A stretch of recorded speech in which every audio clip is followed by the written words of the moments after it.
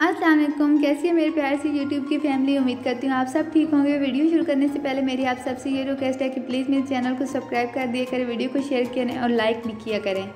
जी तो मैंने सफ़ेद चने रखे हुए थे बॉयल होने के लिए, क्योंकि मैं ना एक ही दफ़ा बॉयल करके फ्रीज़ कर देती हूँ ना, फिर जब भी ज़रूरत होती है तो जल्दी से निकाल कर यूज़ कर लेती हूँ। आप भी ऐसे ही किया करें, आसानी हो जाती है। मैंने आज बनाना था ज़्यादा, इसके लिए मैंने चावल रखे हुए थे, सेला चावल थे। तीन घंटे पहले मैंने भिगो के रख दिए थे और फिर पतीले में पानी डाल के मैंने इनको बॉयल होने के लिए रख दिया था। और ये जो चने थे मैंने बॉयल की थी, ये मैंने कहा के पैकेट बना के रख देती हूँ। चलें जी तो अब हम चलते हैं अपनी फाइनल रेसिपी की तरफ़। मेरे पास हाफ़ के जी चावल थे, जिनको मैंने अच्छी तरह से बॉईल कर लिया था। तीन फ़ूड कलर थे रेड और सब्ज़ मुरबा था। आप कोई भी कलर इस्तेमाल कर सकते हैं, मुझे ये दो कलर ही अच्छे लगते हैं। इसलिए मैंने ये दो कलर ही इस्तेमाल किए। हाफ़ कप मेरे पास ऑयल था हाफ़ गिलास पानी का था और वन कप शुगर पतीले में मैंने पानी ले लिया था, क्योंकि इसकी चाशनी बनानी थी तो ये पानी इसलिए ज़रूरत था। इसमें मैं साथ ही चीनी ऐड कर दी थी। चीनी ऐड करने के बाद इसको अच्छी तरह से मिक्स किया था और आप भी इसी तरह करें। जब तक ये अच्छी तरह से मिक्स ना हो जाए और इसमें बबल्स ना बनने जाए, तब तक आपने आयल इसमें इस्तेमाल नहीं करना। क्योंकि फिर वो जो आयल होता है ना तो वो मतलब अच्छी लुक नहीं देता।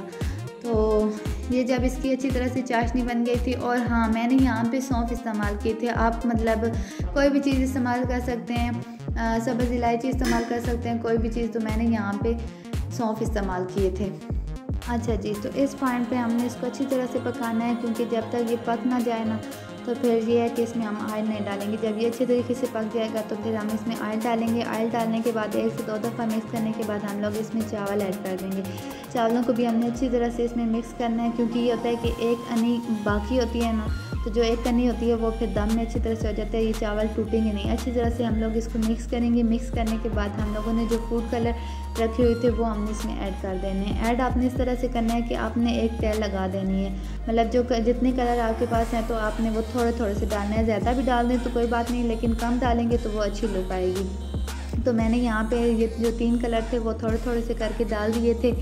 और आपने भी बिल्कुल सेम इसी प्रोसेस से डालना है, क्योंकि आप ये होता है कि चावल अगर ज़्यादा हो तो फिर तो ज़्यादा फ़ूड कलर आप इस्तेमाल करेंगे तो वो कोई बात नहीं है। अगर कम चावल हो और आप फ़ूड कलर ज़्यादा इस्तेमाल कर देंगे तो वो अच्छी लुक नहीं आएँगी। साथ ही मेरे पास जो ज़्यादा के लिए मैंने मंगवाई हुई थी, ये मरबा तो मैंने ये भी ऐड कर लिए थे और दम पर रख दिया था। तो मैंने कहा कि क्यों ना ये जितनी देर में दम पे हैं तो साथ बर्तन वॉश कर दिए जाए, फिर मैंने साथ ही बर्तन भी धो दिए।